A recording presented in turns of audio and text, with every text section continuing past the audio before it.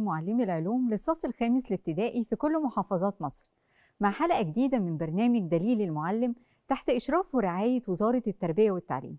زي ما تعودنا من حلقاتنا السابقة عشان نحقق أكبر استفادة ممكنة محتاجين يكون معانا دليل المعلم وورقة وقلم عشان نسجل أفكارنا وتأملاتنا.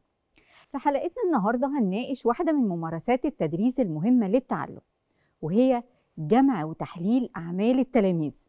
بالشكل اللي يساعدنا كمعلمين نحدد الأجزاء اللي التلاميذ محتاجين فيها دعم أكتر وإزاي تعديل طرق تدريسنا ممكن يساعد تلاميذنا للتقدم في تعلمهم قبل ما نبدأ هسيب لكم وقت تفكروا في إجابة السؤال ده. ما أهمية جمع وتحليل أعمال التلاميذ؟ دونوا أفكاركم وملاحظاتكم ونرجع نتناقش مع بعض.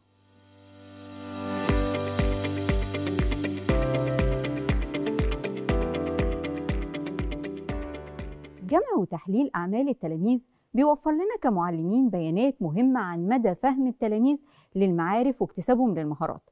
البيانات دي هتساعدنا على اتخاذ قرارات تدريسية فعالة تراعي أنماط ومستويات التعلم والفهم المختلفة وتساعد على تعلم التلاميذ بشكل أفضل.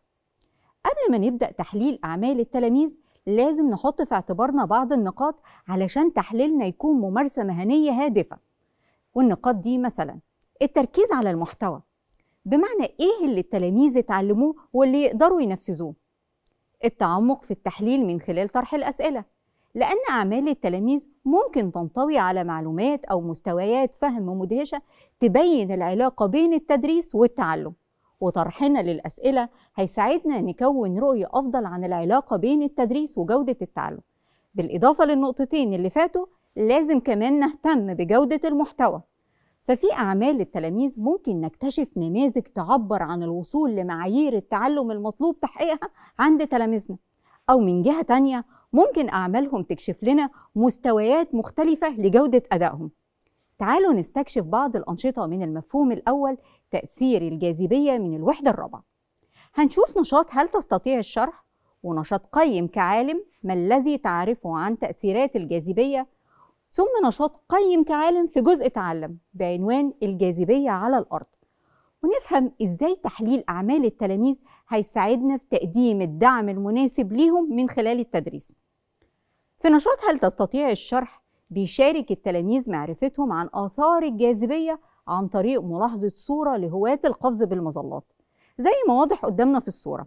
عشان يحددوا سبب الحركة في الصورة ويحاولوا يربطوا بين ملاحظاتهم وبين تفسيراتهم لظواهر تانية زي حركة الكواكب عشان يبدأوا يكونوا فهم لمصطلح الجاذبية. وفي نشاط قيم كعالم بعنوان ما الذي تعرفه عن تأثيرات الجاذبية بيكمل التلاميذ تقييم تكويني عن الجاذبية والقمر والأرض. بتحليل إجابات التلاميذ في النشاط ده نقدر كمعلمين بكل سهولة نحدد التلاميذ اللي عندهم فهم أساسي لمصطلح الجاذبية. ومين من التلاميذ لسه ما وصلش لفهم مصطلح الجاذبية؟ وده هيساعدنا في باقي أنشطة المفهوم إننا نقسم التلاميذ في مجموعات وفقا لدرجة فهمهم. مع الوصول لنشاط قيم كعالم بعنوان الجاذبية على الأرض بيطلب من التلاميذ إكمال تقييم تكويني لتقييم فهمهم لقوة الجاذبية الأرضية. وإحنا بنراجع ونحلل أعمال التلاميذ لازم نحط في اعتبارنا إن النشاط ده بيجي بعد مرور التلاميذ بأنشطة جزء تعلم. عشان كده محتاجين نفكر في الأسئلة دي. إيه هي نقاط القوة عند تلاميذي وإيه احتياجاتهم؟ هل عند تلاميذ المحتوى المعرفي الأساسي والمهارات المناسبة اللي هتساعدهم يتقدموا؟ إزاي أساعد تلاميذي في تعلمهم من خلال تقديم الدعم ومراعاة التميز بينهم وإزاي أصمم تجارب تعلم مختلفة أو أستخدم استراتيجيات تعليمية مخصصة حسب احتياجات تلاميذي بعد ما جمعنا أعمال التلاميذ وحللناها وعرفنا نقاط القوة ونواحي الضعف أو فرص التحسين يجي سؤال مهم وهو إيه الخطوة اللي هنقوم بيها بعد كده؟ ممكن دلوقتي نسجل أفكارنا ونرجع نتناقش مع بعض.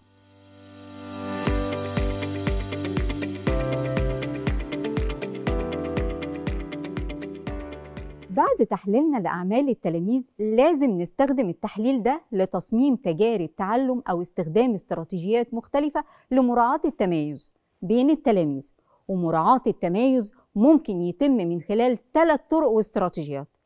إما من خلال تصميم طريقة تدريس تناسب احتياجات الفصل ككل أو تقسيم التلاميذ في مجموعات وكل مجموعة يكون لها تجربة تعلم بناء على احتياجاتها المشتركة. أو ممكن نصمم مسارات تعلم فردية لدعم احتياجات التلاميذ بس بشكل فردي. طيب إزاي أحدد الاستراتيجية أو الطريقة المناسبة سواء كانت تجربة تعلم موحدة للفصل ككل أو كمجموعات مصغرة أو حتى تجربة تعلم فردية. هسيب لكم وقت تسجلوا أفكاركم ونرجع نتناقش مع بعض.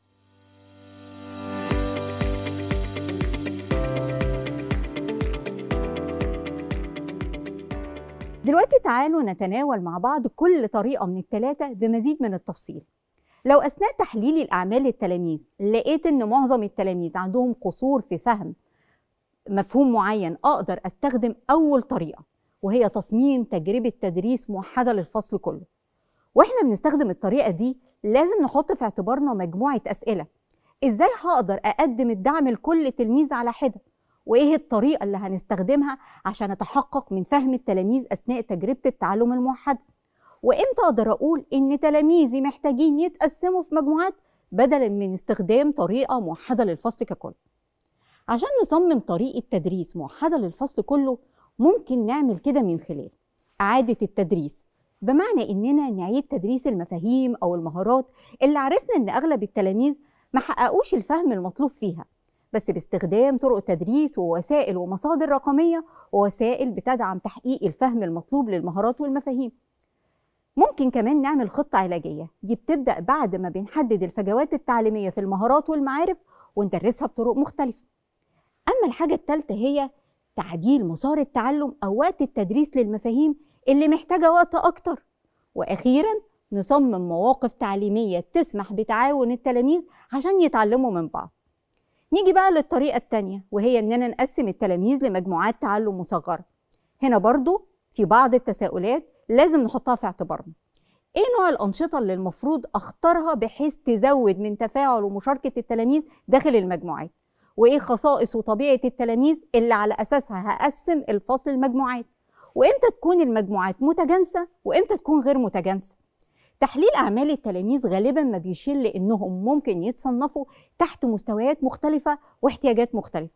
وباستخدام التحليلات المختلفة دي نقدر نقسم التلاميذ لمجموعات مكونة من ثلاثة لست تلاميذ عشان ننفذ أحد الأنشطة المحددة. المجموعات دي ممكن تكون متجانسة المستويات يندمج فيها التلاميذ في مجموعة من الأنشطة مع المعلم أو يشاركوا بأدوار مختلفة في أنشطة تعلم متمركز حول التلميذ أو يشاركوا في مهام تعاونية مع زمايلهم داخل المجموعة.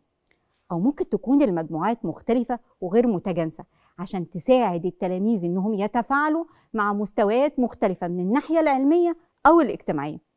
والأفضل ما تكونش المجموعات ثابتة طول الوقت لازم يحصل تغيير في تقسيم المجموعات كل فترة بناء على احتياجات التلاميذ. نيجي للطريقة الثالثة وهي إننا نعمل خطط فردية للتلاميذ. لكن هنحتاج نفكر في البداية إزاي أصمم كمعلم خطط فردية تسمح للتلاميذ إنهم يحددوا المسار المناسب ليهم حسب احتياجاتهم هم. وإزاي التلاميذ هيظهروا تعلمهم ده بشكل فردي؟ وإيه الإجراءات اللي هتضمن إن التلميذ بيتعلم بشكل فعال داخل مسارات التعلم الفردية زي ما التلاميذ عندهم أشياء مشتركة في نفس الوقت لكل تلميذ نقاط قوة ومساحات معينة يقدر يتطور فيها. وده بيستدعي تطبيق أو تصميم استراتيجيات أو مواقف تعليمية مخصصة بأهداف محددة عشان تلائم احتياجات التلاميذ الفردية سواء كانت احتياجات علمية تخص المحتوى اللي بيدرسه أو احتياجات شخصية.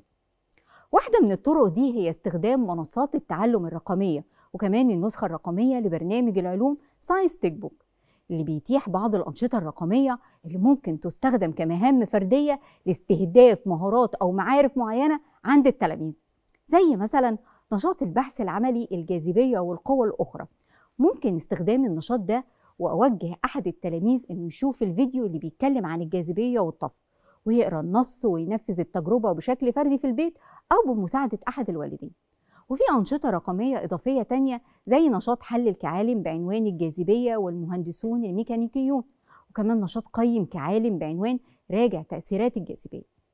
وبكده نكون استكشفنا مع بعض قد إيه التحليل الدقيق لأعمال التلاميذ هيساعدنا كمعلمين ناخد قرارات تدريسية مناسبة وفعالة تدعم تقدم التلاميذ في رحلة تعلم في ختام حلقتنا وزي ما تعودنا منكم على المشاركات الملهمة شاركونا تجربة تدريس أحد الدروس من منهج علوم الصف الخامس. وعرفونا إيه القرارات التدريسية اللي نفذتوها لدعم تعلم التلاميذ وإزاي تحليل أعمال التلاميذ ساعدكم في تعديل الإجراءات التدريسية المستقبلية.